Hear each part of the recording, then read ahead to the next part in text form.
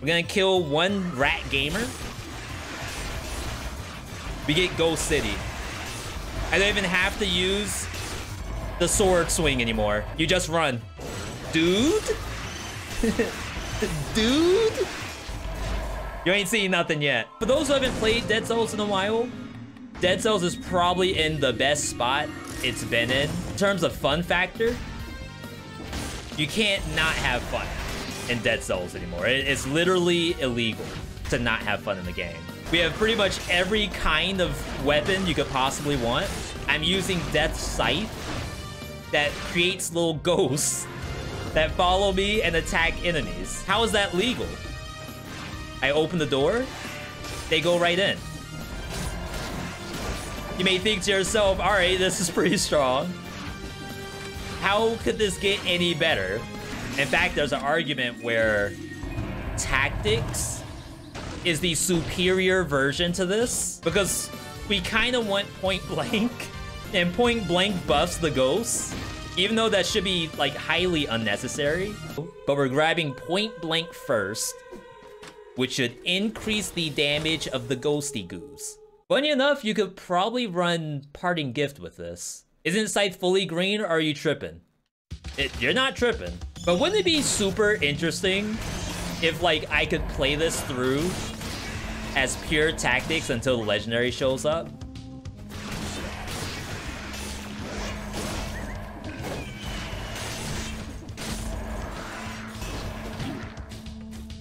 What did I parry?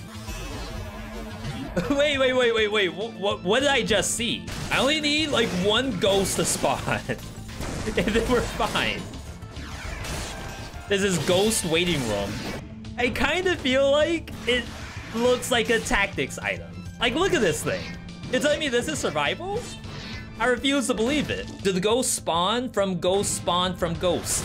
We're not there yet. Almost though, almost. Keep that in mind for later. Uh, can you explain why we're playing tactics if you're using a survival weapon? I'm sorry. There's nothing to be sorry about.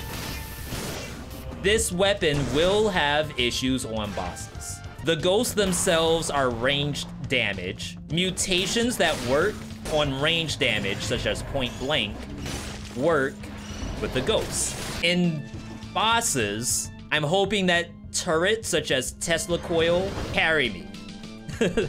Because the scythe isn't going to do anything, really. Please give me a colorless scythe.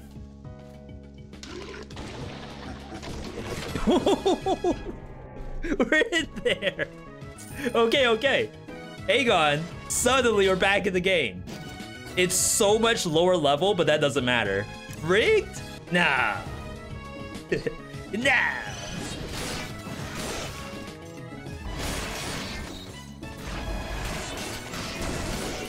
Look at this. Now, eventually, we're not gonna press the square button at all. No ghosts? Megamind, no ghosts? These things are really tanky, too.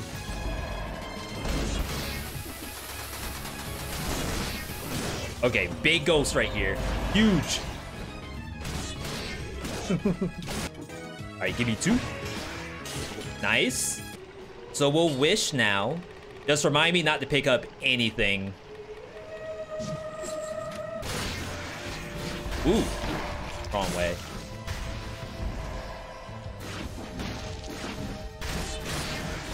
Okay, so Sheer Bearer apparently is the uh, the best in class for blocking ghosts. That's uh, Dan Aykroyd in the flesh. All right, here we go. Big ghosts. Not bad. Apparently, you cannot make a ghost from pets. Dude, why didn't you stop it? the ghost was right there. It just went AFK. Okay, the build is now live. So, Death Scythe, enemies killed by the ghosts become ghosts themselves. Um, this entire biome is empty. I literally have nothing I can do this on. Um, Conjunct herself has ads. So we should be able to see some of the ghost gameplay there. All right, so first boss. We're using tactics with turrets because we believe bosses are going to suck.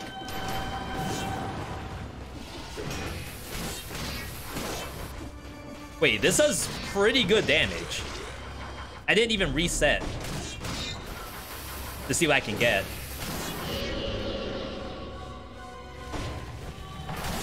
Okay, so did I get a ghost? I did not get a ghost and I'm trolling.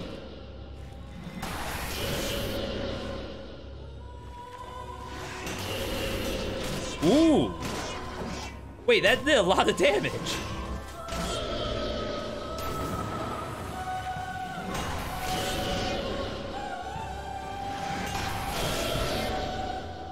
Ghost City? So we have like one. Oh, I have two. Wait, that's double. Unfortunately, you don't get a ghost from bosses. So it doesn't work on giant, doesn't work on servants. What it does work on, however, is Scarecrow. Just to say that. So perhaps we go Scarecrow. Um, what that does mean is that we will not be able to do Dracula. I feel like a build like this, you just don't go Dracula. The legendary Dead Scythe Hell Custom. We're gonna kill one rat gamer. We get Ghost City. I don't even have to use the sword swing anymore. You just run. Open the doors. Ghosts can't use doors. They need our help. Dude? Dude? You ain't seen nothing yet. Only possible when running tactics. Except that's probably not super true, but hey, we got tremendous amounts of damage here. If someone else out there is doing more damage than us, they're hacking. Instant win weapon? Remember, this is best legendaries no cap that we're recording right now. This is the YouTuber. Okay, sometimes you have to dodge roll. I didn't know that. they didn't put that in the manual. Wait, how did you live? The ghost just stood there. Thank you. He has 1 million power in Rise of Kingdoms. that sounds like a YouTube thumbnail that would say like level 1 noob. And it has like a ghost rat. Level 100 pro. It has a whole rat army. Can you please kill stuff? Stop trolling. no, that's my last ghost. Not bad, not bad. Honestly, when I set this up today, I didn't think it would be as uh, clean as I thought it was. Or didn't I didn't think it would be as clean as it actually is. Um, if you hit things while the ghosts are going, you could avoid using up a ghost. But then I have to do work. And I don't know how I feel about that. Sometimes they struggle getting to the next platform. I get it. If I was dead for 20 years, I'd struggle sometimes too. But then again, like, the ghost doesn't know it's been 20 years. Uh, to a ghost, it's only been a day and a half. We are playing custom mode, just to let you all know we have every weapon turned off, except the scythe. So, like, does this work in standard gameplay? Probably not as uh, easy to get. Like, there's probably a 1 in 1,000 chance that this shows up in a regular run where you were playing tactics and then you randomly got a legendary death scythe. Like that can actually happen. Custom mode's great. It's good for content too. So like, obviously, having this stuff come up randomly is really fun. And if it comes up during like a 18 BC run, then that's great. Like we, we will 100% use it. Um, but sometimes we don't get cool stuff like this every time. We have to make it. You're by yourself? Wow. That harpoon was one inch away from me. I like the shoot arrows. That works with point blank. If we can get shoot arrows and also electrical damage, that'd be great. Electrical, but no arrows. Electrical with the arrows. Okay. That should have us set up perfectly fine on bosses. Because the other big issue about this build is can it even kill a boss? Wish I still had Wish. Bank is big enough that I'll probably get some malaise.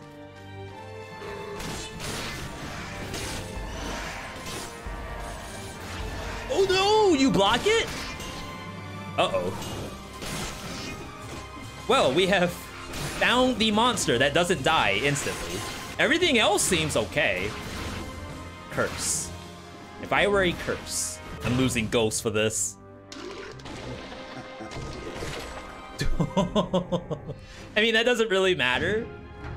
Because it being colorless doesn't really add to the damage of it very much. It goes from 100 to 2000, which is still kind of nothing. But if I have to parry a bullet, it should at least help me kill the Inquisitor that's shooting at me. Okay, Gold Gorger. We want to get back to the point where I don't have to actually press any buttons. Pressing button bad. Crap, I didn't even get something I want. Maybe I'll take the Scavenge Bombard as a mimic check, but I need to come in here with ghosts.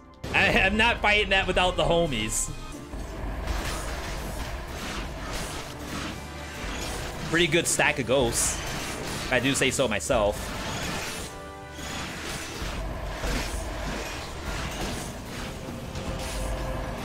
Yeah, see how that parry actually killed the Arbiter? Okay, so for a quick, these should come with me. There it is. Okay, that worked a lot more than I thought it actually would. We do have a, a ghosty mimic, but nothing to use it on, unfortunately. Juggle? That was my, uh, oh, what's his name? Zato. That was my Zato. You might be noticing a damage difference between a few of these. Uh, believe it or not, the ghosts do damage based on their max HP. They deal max HP percent true damage. 40k compared to 20k, I was not watching at all. I was looking at the numbers. I need velocity. I gotta just catch up to the monsters. Before the ghosts run out. Look at that ghost army. Hang on, hang on. Ghost, don't go away yet. Ghost! You gotta kill this, please! That's kind of sick. Do that legendary affix low. Are you saying it's good?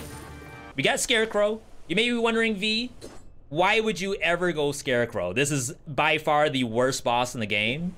Well, we're here because Scarecrow has ads. Um, if Scarecrow ever gets to the point where it summons Mushroom Boys, we will farm them for ghosts. I do have Rampart too, which is really good in this fight.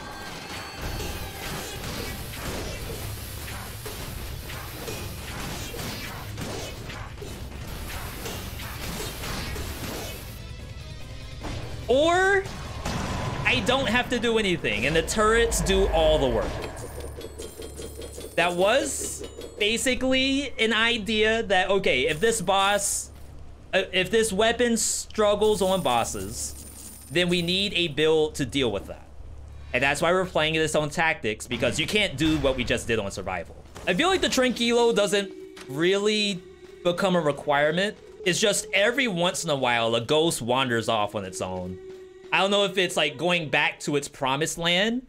I don't know if it's being summoned by some kind of necromancer off in the distance. Yo, this is new music. You've never heard this before.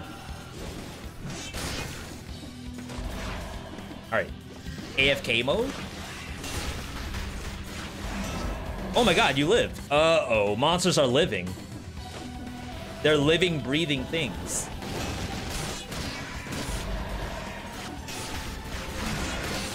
I have to actually hit some of them. Not all of them, as you can see, but some of them. If this build had Armadillo Pack, I feel like you would legitimately not need to play the game. Unfortunately, we have Wish. So, ideally, if you found a legendary scythe in the wild, you could make a much better build than I have. while Tactics. Uh, we're kind of gated right now. But as you see, the only thing we're really missing out on is Disengage, just for survival purposes. Okay. If I had Ghosts, this would be really fun. Like, you, then you really don't have to do anything. You just cocoon everybody, while Ghosts kill everyone. But that's not... Well, it's actually good on Hand of the King, in general. Uh, we'll take it. What's my favorite route to win 5BC? I don't have a favorite route. Uh, Logert, I legitimately change my routing depending on what my gear is. Some people have said maybe we need an updated routing guide. Wow, good cocoon. $70,000 ghost. Do we have a routing guide on YouTube? Yes, but it's it's pretty old. I think it was before Corrupted Prison came out is when we made that. So I would like to do one with the DLC stuff. We're about to see a 5 second Hand King, but I don't have Ghost. What am I supposed to do? That's half my damage. If not more. My Danny Phantoms. All right, Hand the King. No! As one of the hardest bosses in all of Dead Cells. I did not reset. I did not take disengage.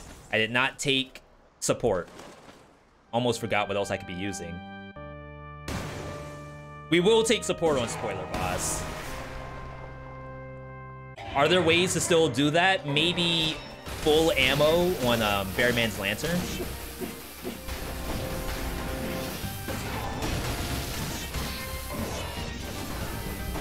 No, my Tesla! That's Elon's Tesla right there!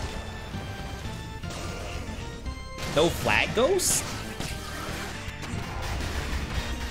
Oh wow, that did zero damage. Uh-oh.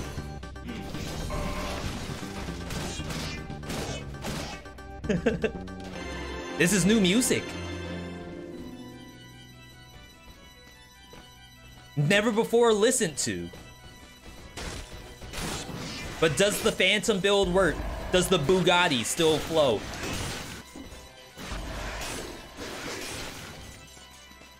Okay. How about you?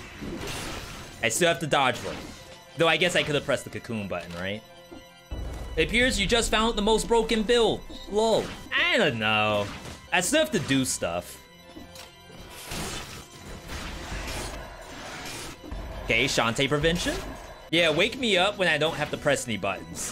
When I can just hold the right key. Then I know we're in the right place. Get him! Oh, I need that. you know we gotta get the triple purple. We need all the damage we can get. When you're playing tactics, health bars are non-existent. You basically have 2 HP. One to get hit by, the next one to die by. Oh wait, that ghost came out of nowhere.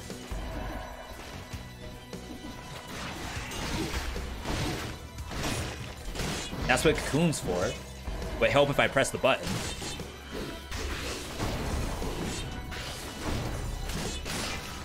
Ooh, that kills Shantae with just the overhead. That's really good. By the way, Bird's still confirmed as the hardest enemy in the game. Oh no! Anti-ghost technology! Okay, so I did press the attack button a lot more on this biome than any other biome. I think that's fine because these monsters are very weird. And my worry is that we don't always have the right hitbox. Please. Okay, we got one. Ooh, bird on bird. Um, final build is support for sure. The 43% bonus damage. Um, and then I would like to bring in Disengage, but I honestly think I'd be better off taking Triage. Um, because what that lets us do is when it's time for the final drink, we'll pick it up, chug, and then like instantly start fighting again. It also allows us to like do cheeky drinks to avoid damage. Um, but we're probably gonna do Cocoon instead if I have to do that. We're going into the spoiler boss of Dead Cells. We're doing this with a quote-unquote best build in all of Dead Cells. I say quote-unquote because that's what Reddit says and I don't. Um, unfortunately, the build doesn't really work in here, so I had to bring in items that are going to help for bosses. Um, if I make it to ad phase, though, we can get a couple ghosts. Um, I think the strat is to not kill the ghosts. I mean, not to kill the monsters, let them stack, and then you try to make three ghosts out of it. Um, but alas, let's get in here. Boss fight, boss scenario. Malaise is going up. Back again for the medicine. I'm itching. It's not good. Should probably call a doctor. We do have Rampart. Only sucky part is if you get the bubble during his charge, he just bounces off of you. Yo, new music?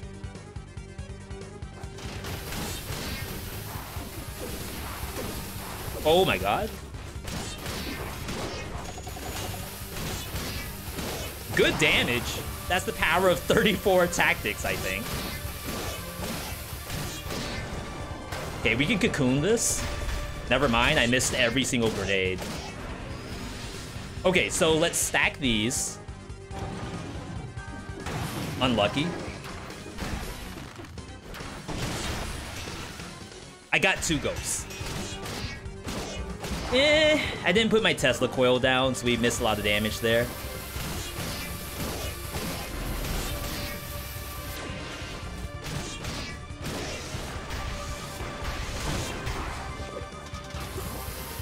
That's Elon's Tesla. Don't do the self-drive, though. That's very, very dangerous.